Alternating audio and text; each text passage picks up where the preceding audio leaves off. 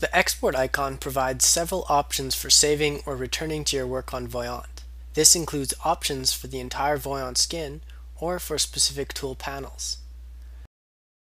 The export icon for the entire Voyant skin is to the top right. Opening this icon provides the user with two URLs. The first URL directs the user back to an existing Voyant session. Sharing this URL by email or through social media allows any other individual to open the session as well. The other URL directs the user to the Voyant Skin Builder. This allows the user to select which tool panels will be displayed in the Voyant skin, as well as to customize the skin's layout. Once the user is satisfied, it is possible to return to the Voyant session from the Skin Builder. More information is available in the Skin Builder screencast.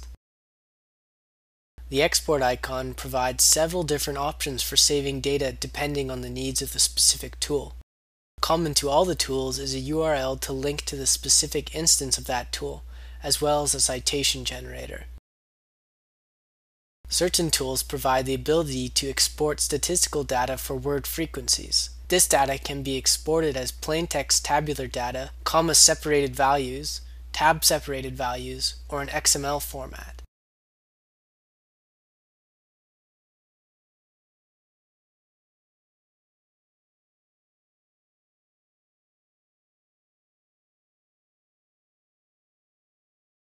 Other tools provide the option for saving an image of the tool in a .png or a .svg format.